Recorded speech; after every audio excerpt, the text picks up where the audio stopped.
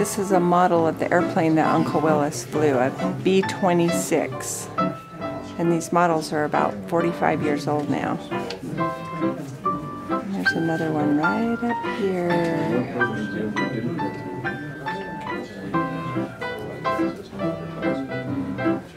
Willis's talk is going to begin in six minutes.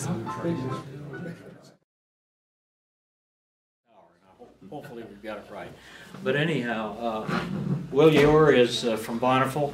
He was a tech sergeant during World War II and a B-26 uh, gunner.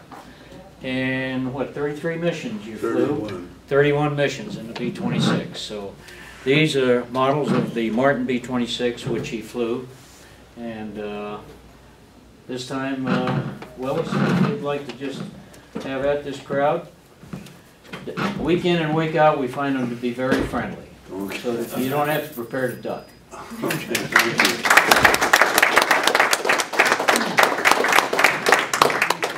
you. Welcome. Uh, my name is Willis Ure, and as Mark said, I'm from Bountiful. I've lived in Utah most of my life.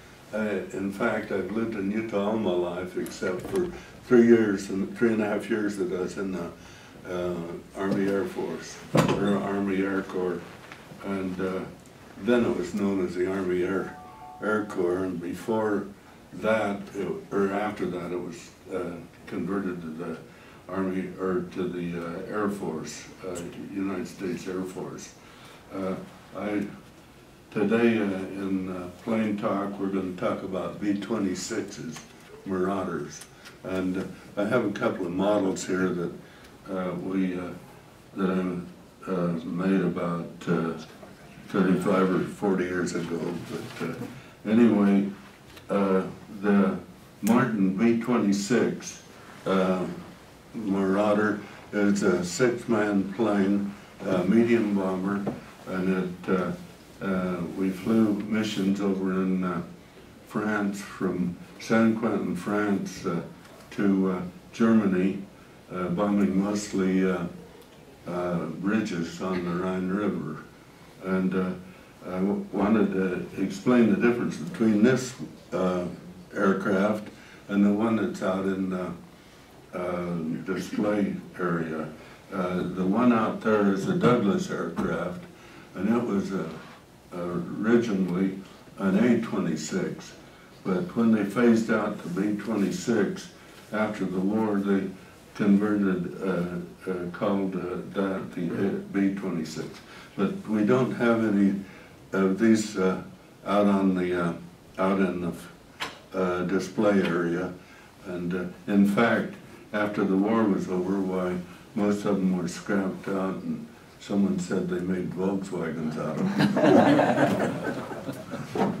Uh, I, uh, this is a medium bomber, a tactical bomber, uh, two engine, and uh, it's, uh, I was in the 387th Bomb Group and uh, 559th uh, Bomb Squadron.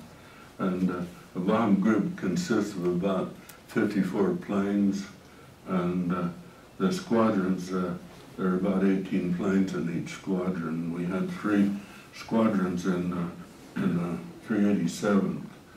Uh, and I, uh, uh, I'll have to explain uh, how I uh, got involved in B-26. Uh, after radio school at Scott Field in Belleville, Illinois, and gunnery school at uh, Fort Myers, Florida, I was transferred to Shreveport, Louisiana, uh, where in Barksdale Field. And Barksdale Field was called the golf course of, uh, or called the, um, it was a, a, a place quite different from the places that we had been. Uh, and uh, they had a golf course and they had a, um, a swimming pool and they had uh, uh, movies, uh, movie theaters. It was a nice place to be. But we had uh, also other duties besides uh, uh, that. We had duties like uh, KP and and garbage detail, and it wasn't all fun and games. At Barksdale, we received further instructions on flying B-26s. And uh, in September of 1944, uh, uh, after we had uh, formed our crews, we uh, went to, uh, we were um, given the word to go over to Savannah, Georgia, and pick up a plane from the Martin Aircraft Company. And it was a brand-new plane, and we were to ferry it across, it was in October, we were to ferry it across uh, over to the uh, European Theater of Operations. And uh, uh, at that time of the, they had two routes over, the northern route and the southern route. And the southern route was uh, uh, the one that we took because it was so late in the season. We had, our first leg of the journey was uh, West Palm Beach, Florida. And then uh, we flew from there to uh, Puerto Rico. And in Puerto Rico, we landed and um, it was a, um, a well-kept base and uh, we had a good runway and everything. But uh, uh, we met uh, um, um, a red-headed uh, Puerto Rican and we asked him uh, uh, how come his uh, uh, was red-headed and he said his uh, ancestors had come from Ireland. The next, and they mowed the lawns. They didn't have lawnmowers. They had about uh, 30 or 40 natives li- lined up in a row, and they um, had hand shears, and they uh, mowed the lawn by hand shearing it all the way, and they did a pretty good job, and they did it fast. But uh, the next day we went to British Guiana, and uh, that's down in South America. And uh, uh, when we got there, well, they uh, took us to our barracks, which was bamboo uh, buildings made out of bamboo, and even the floors were uh, bamboo. And some of the uh, members that smoked thought it was a good uh, place because uh, when they uh, uh, got through their cigarette butts, all they had to do was flip them out and they'd fall through the floor. While we were there, they, uh, um, um, a native came out of the, the jungle uh, with a, a load of bananas and he said, me from Texas. And he uh, gave me, uh, he, he wanted more for his bananas than we could get them here in Utah. And after escaping the, the um, banana merchant, we uh, uh, headed for B- Belém, Brazil. And Belém is right on the equator. And our Air Force base was uh, um, was uh, uh, right in the jungle. We never got a chance to go into Belém. We just uh, uh, took off the next day and we went to uh, Natal, Brazil. Natal, Brazil is right on the coast and it's the the launching place that uh, we we took for to go to uh, Ascension Island. Ascension Island is uh, an island out uh, um, about halfway between uh, South America and Africa, and uh, this was the longest journey of our mission, longest mission, or not mission. It was the longest. Um, that we had to fly um, on any of the legs that we took. And uh, heading out, uh, we had extra gas tanks, but uh, about halfway between uh, Natal and Ascension, we were, uh, our plane, uh, both engines stopped. And I was sitting in a, a radio compartment and I didn't know what was happening, so I yelled into the intercom and asked the pilot what was going on. Uh, he, he didn't answer me. And uh, uh, about, and uh, we were losing altitude, and about, uh, I guess it wasn't uh, much more than a minute, but it seemed to me like a lot more, a lot longer than that. And then the engines finally came back on, and I asked the flight engineer what had happened, and he said that uh, the pilot just wanted to make sure we used all the gas out of one tank before transferring to the other. But uh, that wasn't the story. Uh, Fifty years later, at a, uh, a reunion, I uh, heard, uh, or I talked to the co-pilot, uh, Pierre, and he said, he told me what really happened. What happened was that on the uh, uh, extra gas tanks we had, they had a, um, a valve, and it was up in back of the co-pilot's seat, uh, in back of him, and uh, it, to switch the tanks, he had to uh, reach back of him in the opposite direction. And what happened was, uh, he was trying to turn the valve in the wrong direction. And he, he said he struggled with all his might to turn the, turn the valve and it wouldn't turn uh, before he discovered that he was trying it in the wrong direction. And when he flipped it back the other direction, when we were, we were back in flight again, we uh, made Ascension Island without any problems. Uh, If, if uh, in his rush, uh, he had sheared off the pin that held uh, the transfer valve, uh, we'd have had to ditch in the Atlantic Ocean, and uh, uh, I'm thankful that that didn't happen. Uh, uh, On Ascension Island, we stayed there a couple of days, and uh, uh, I noticed at night, uh, there were giant spider crabs that came out and uh, went down to the ocean, and uh, there's hundreds of them just uh, uh, right about day, uh, just about sunset. Why they all headed down for the ocean? I don't know. I guess they did that every night. the next day we left uh, um, Ascension Island for uh, West Africa. And, uh, I don't know, they've changed the names of towns uh, or of countries so much in Africa now that uh, I don't, uh, then it was known as French West Africa.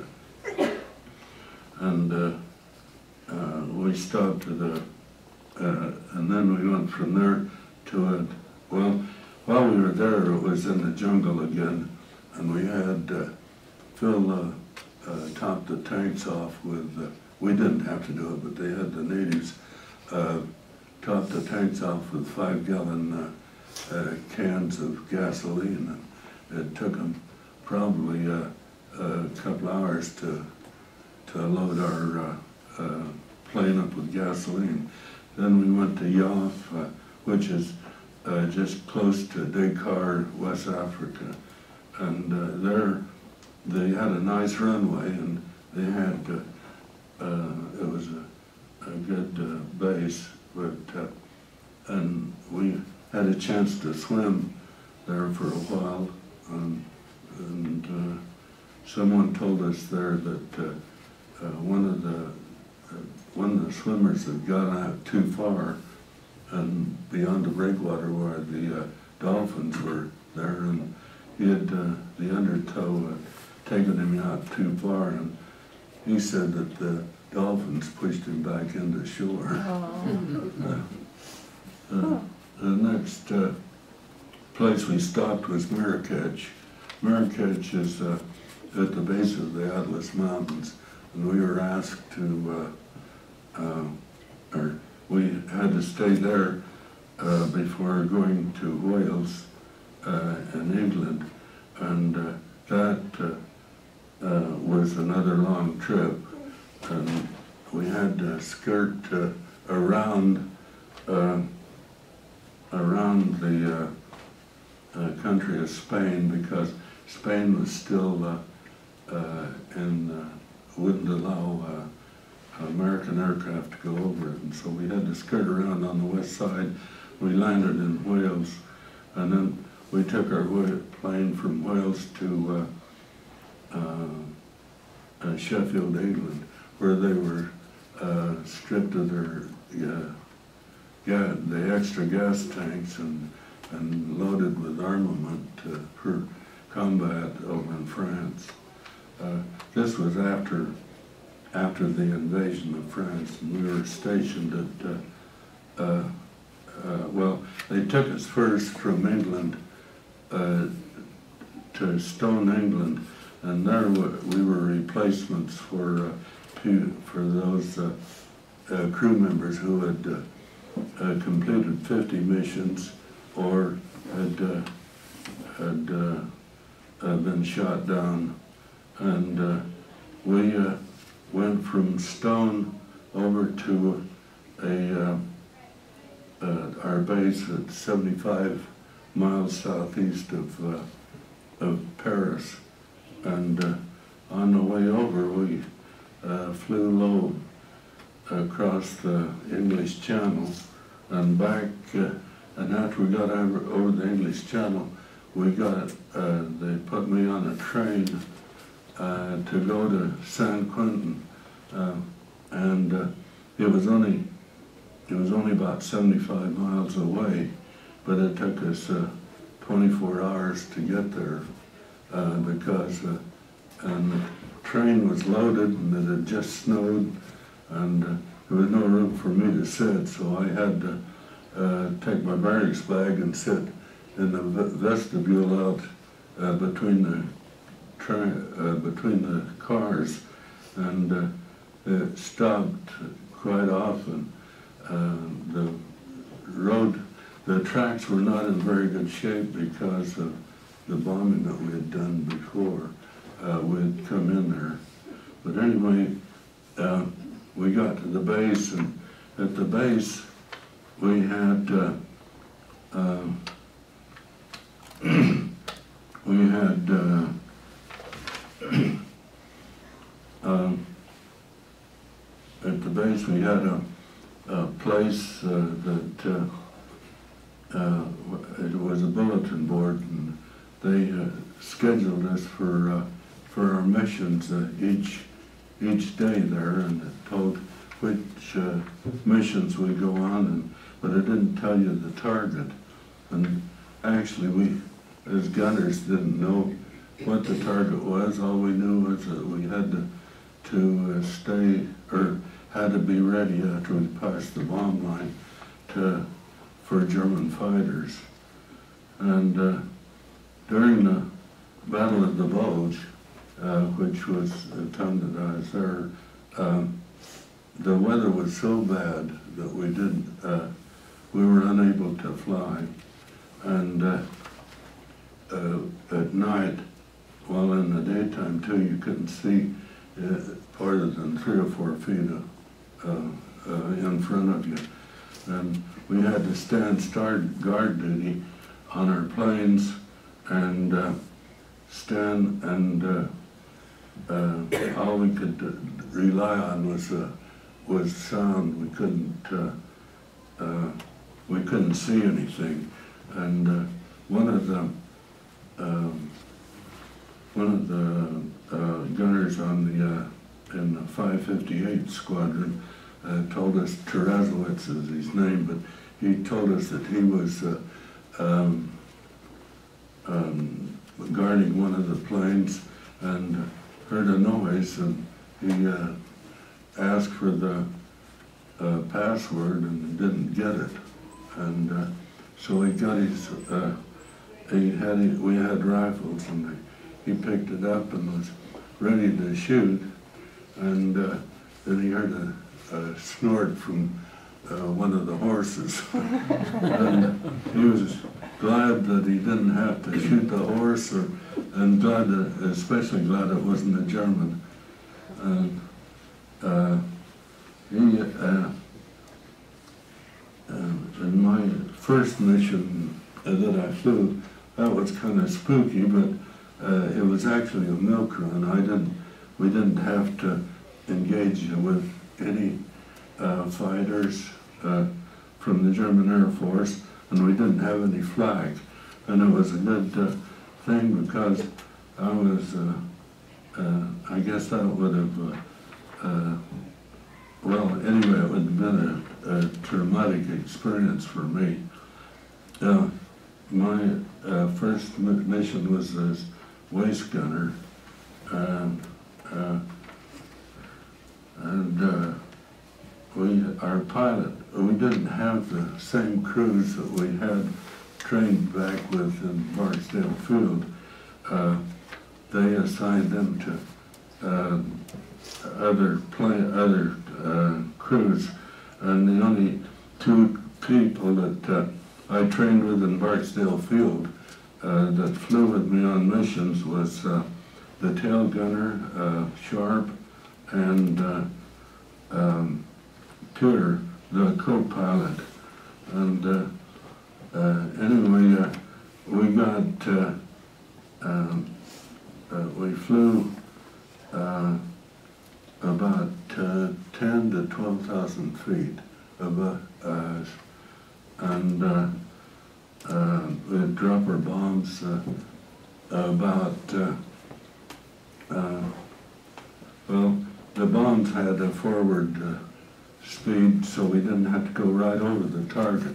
But uh, on the bridges, the Germans uh, knew exactly which way we had come in uh, to do a bridge bombing. Uh, we never bombed the bridge uh, and crossways. We always flew in the direct line of the bridge because it was a larger target. And uh, uh, they were, they had their uh, 88 uh, and 90 millimeter uh, uh, uh, anti-aircraft gun ready for us, and we were like shooting ducks because we had to hold a steady course while going down, while going on the bomb run. And this, let's see.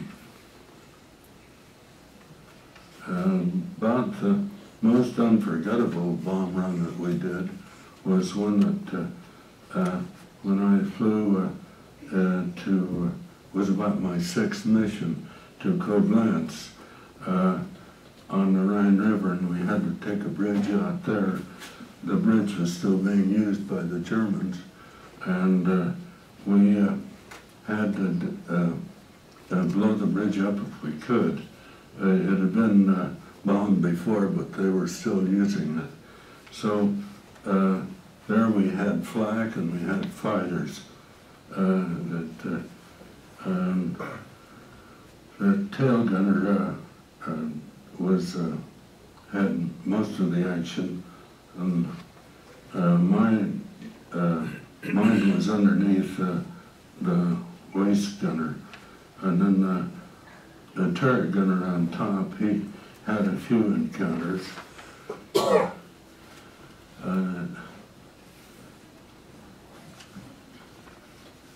uh, when we dropped our bombs there, we uh, immediately made a 180 degree turn and, and uh, lost uh, altitude to gain speed to get out of the uh, area of the flak gunners. When we got back, uh, when we got back to the base, uh, uh, several of, of our planes uh, had quite uh, severe damage, and they had to be repaired by the, the ground crew. But they were, they worked on them all, um, and most of them were back, flyable and back ready for another mission the next day. Um, I flew 31 combat missions, and uh, uh, during that time, uh, uh, there was only two times that I was unable to, that our our crew didn't get back to the uh, base. The first one was uh, when we uh, went over Target and, and got flak.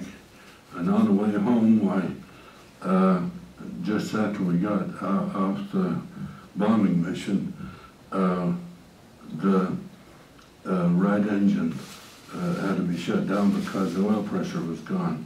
And it was about, uh, it was about uh, 10 or 15, 10, 10 degrees below zero up there. And uh, uh, we, uh, he landed uh, on a, an air, uh, we found a, a fighter airstrip that we landed on. And uh, we covered up, uh, uh, we, as we came in for landing, we were a lot heavier than the uh, uh, fighters.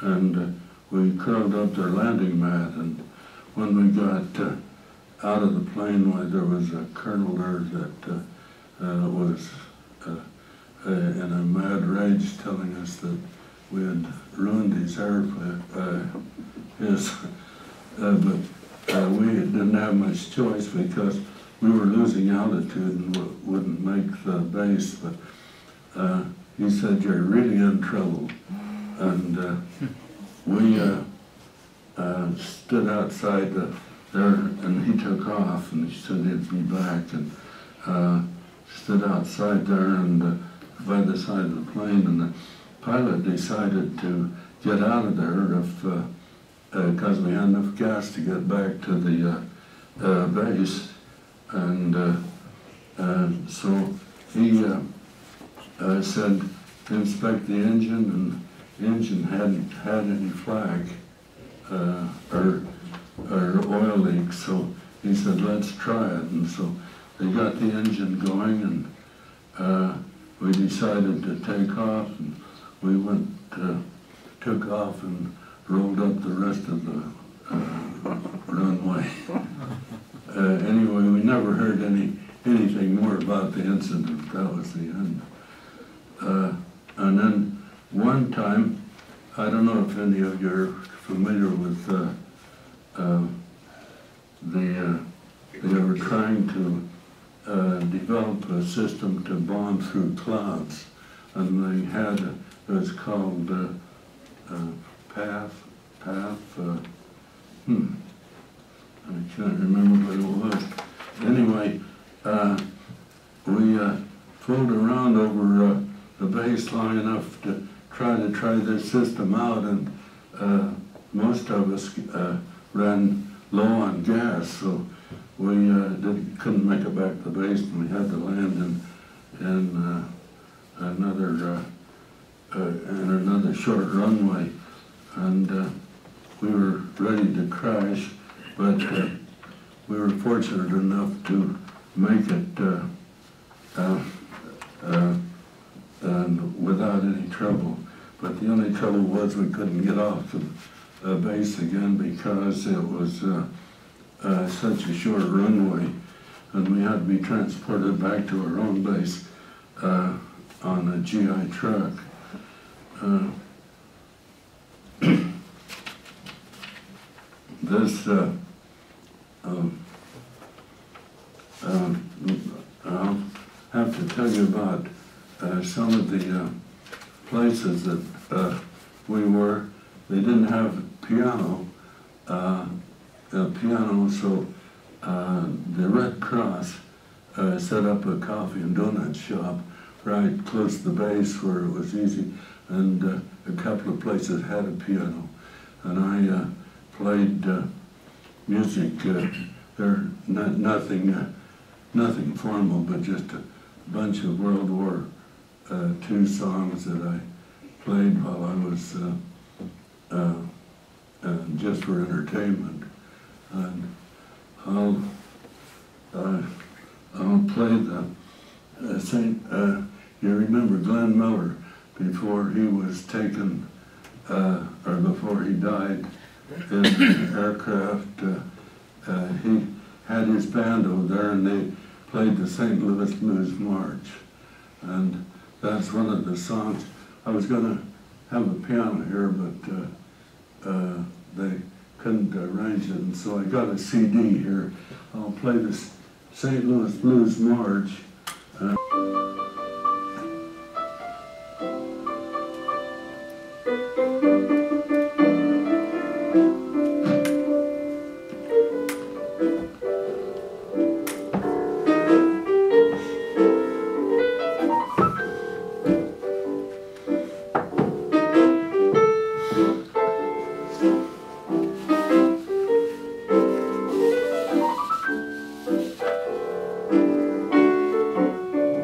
Uh,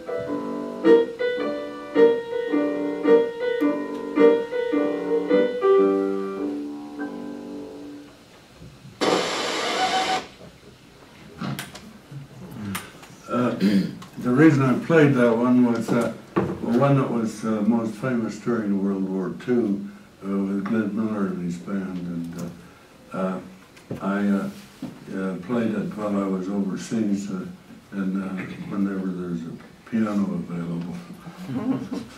Uh, uh, After the war, um, we were uh, uh, sent to uh, Amiens, France.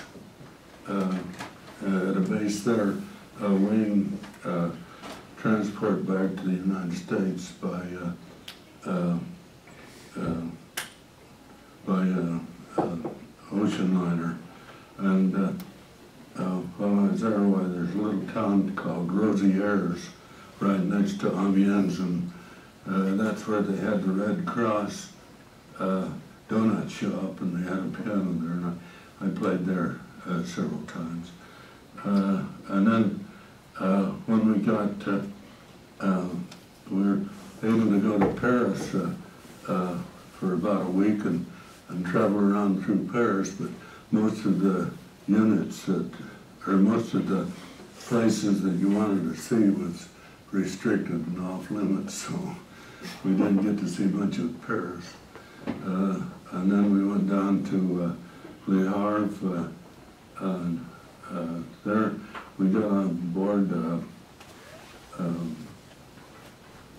SS Lejeune, and it was a converted uh, um, uh, troop ship, and uh, there were so many people on it that when you went to sleep on the racks on the side of the wall, why they had uh, uh, the, you were they were so tight that if you moved, uh, turned over, you could you touch the one just above you. but anyway, it wasn't. Uh, it, we were just glad to be there, and uh, a lot of them, uh, a lot of us wanted to come home and go to the G- uh, go to school under the GI Bill because it was uh, something they just started and, and it was, they paid for all my uh, tuition and my uh, books and gave me fifty dollars a month besides.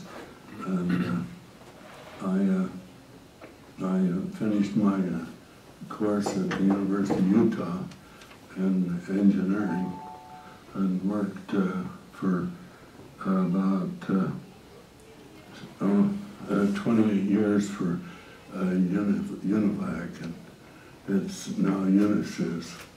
And I worked here in, in uh, plant in Salt Lake.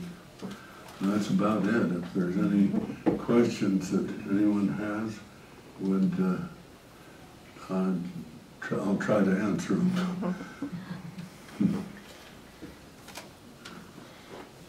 So I'm not clear what flak is when you said Oh. the, the plane got flak. Yeah, flak is, uh, is the shells they shoot up, they're eighty-eight millimeter shells, and the projectile has, uh, an explosive charge in it. And when, uh, when they get to the right altitude, it's set so that they will explode and throw shrapnel all around. And that's, we call it flak, Okay, you know. I think there's part of an F, or a B twenty-six out here. Yeah, the B On the Far end yeah. of. Yeah, you do have a B twenty-six out here, but that's a Douglas B-26. no, no, out, outside. Oh, A part outside? of a, there's part of a fuselage way down at the end there. Oh, It's Oh. near that, that building down there, south end of the display. oh, And, uh, there's not much of it, just the nose of it, but I'm sure that's. oh, good. Yeah, there's a little bit more than the nose, and uh, we're gonna start reconstruction on that sometime in probably the next six months. Oh, It's the next in line to go into our restoration hangar. oh, that's good. Yep. Uh, it's a B, Mar- Marauder? Oh, okay. Yeah, I think so, I Yeah. think so. Well, uh, there was one, uh, flying, uh, Marauder that, uh, um, uh, crashed, uh, at one of our reunions. And they fixed it, it was the landing gear, and they fixed it up. It was called the Caroline. And, uh, uh, two or three reunions later, why, they, uh, uh, it, uh, crashed and killed both, the oh, pilot and the co-pilot. But uh, I don't know of any others that are flying now. Uh, Most of them, we flew over to, uh, before we came home, we flew, uh, got rid of our ammunition in the English Channel and uh, then flew over uh, to Austria and parked them in a large field over there that was uh, uh, probably as big as, as Hollow Air, or Hill Air Force Base. wow. And uh, they were stacked as close as they could, and then uh, I guess they sold the scrap metal, I don't know. Hmm. Yes, What, what were your duties as, Uh, my, my duty was, uh, uh, I was a radio operator gunner, and I uh, operated the two 50 caliber machine guns out of the waist window. And uh, there I, uh, in uh, my last 12 missions, uh, they transferred me up to the nose, and all I did there was just uh, drop the bombs off the lead bomber. And that was most of our um, missions on the Rhine River, that just drop uh, and try to blow up the bridges, which we had to rebuild after we got over there. Yeah, who wants it over there? Yeah. What's your feeling of the B twenty-six as a, as a combat aircraft? Uh, uh, The B-26, it was a Cadillac of uh, all, all uh, uh, medium bombers. We noticed that the B-25, which had more range than we did, but when you get it at the end of the runway and rev it up, it sounded like it was gonna shake to pieces. Well, that wasn't the case of the B-26 uh, Marauder. It was solid, you could, uh, and then also, um, the B seven, the B twenty-fours were about the same as the B twenty-fives. Uh, that was a four-engine bomber, and, uh, I noticed when they were at the end of the runway, ready for takeoff, they would, uh, uh, rev up the engines as high as they could, and it would shake. It just sounded like it was gonna fall into a bunch of scrap.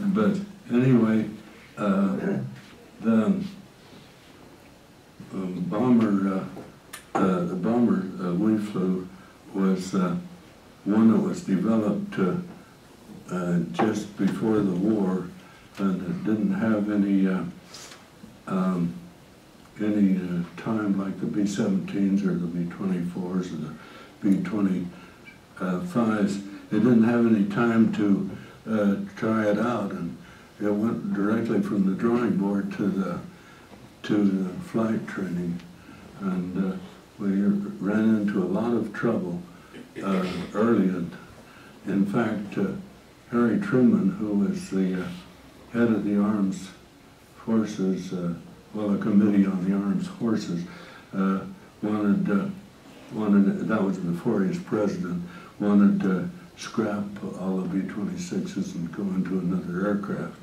but we didn't do that.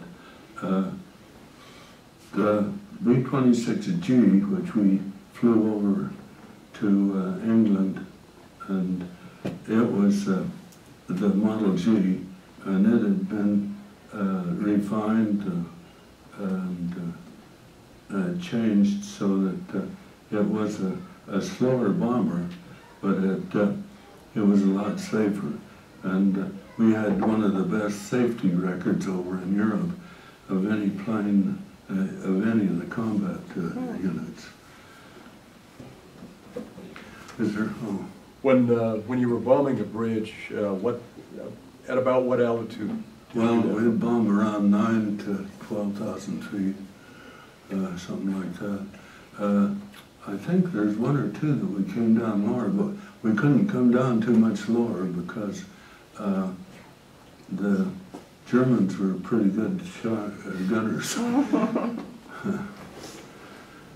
Did we have the Norden bomb, use the Norden bomb sight in the B-26? Yeah, Norden, uh, but that was only in the lead planes. We had flights of six, and we'd all drop off the lead plane. And uh, they had a bombardier in the lead plane, and he would, uh, he would, uh, uh, when we saw him drop the bombs, well, we'd drop at the same time. And that's, uh, uh, there are six planes that would drop all our bombs at the same time. Mhm. Yes. I flew, I flew P-38s out of Santa Rosa, California. Oh, uh-huh, for quite a while, yeah, West Coast Defense. And we had B-26s, tow targets, oh, yeah, yeah, and those suckers would rev them up as high as they could go before they released them, you know. uh, yeah, I don't know how they had the cable, but they, they'd take off and they'd be going, you know, and and Uh-huh. they'd take the slack out of that cable and they just come down like that. yeah, But the, the last uh, time I flew off of Santa Rosa, California, we, they had a, oh, I don't know what they call the project, where they wanted to get every airplane available on the base in the air at the same time. uh-huh, They got a hundred P-38s wow, and three, three P-26s leading them. oh, uh-huh, They took off and they flew up to, uh, over towards Reno and that way and up, up to Seattle. And follow the coastline back down to San Francisco and back to Santa Rosa. oh, Uh, That was a big flight of airplanes. oh, yeah. Well, uh, the B twenty-six, uh, the earlier models were a little bit more risky and higher speed than ours, but, uh, uh, they did use them for tow targets, or not, not the To plane tow the itself. targets. Yeah. Tow the target. Uh, uh, Is there anything else? Do we have a question? Okay. Louis? That was a great story, and very well told. Thank you very much, sir. Thanks. And when we finish our B twenty-six, we'll come up and let Hey, would you? you crash a bottle over the nose. Mr. Bennett, we've got a little memento here for you.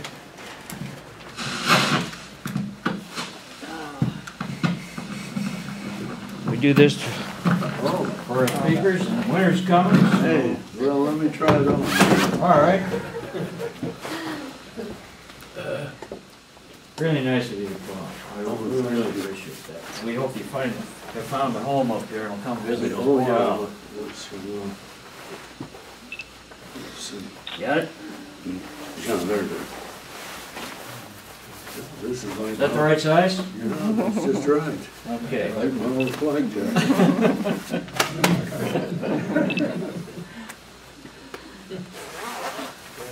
Well, thanks again, Lois. Okay. Thank you very, very much.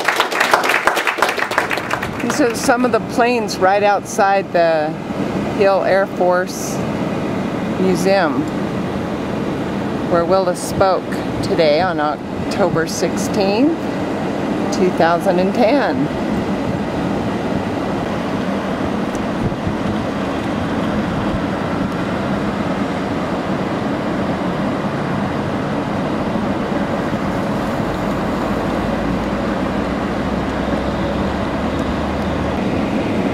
See if I can get some of these planes here as I'm driving along.